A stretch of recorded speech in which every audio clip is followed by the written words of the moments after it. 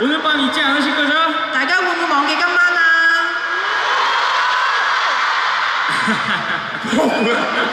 여러분 진짜 오늘 많이 와주셔서 감사하고 앞으로도 엑소 더 열심히 할 테니까 많이 사랑해 주세요.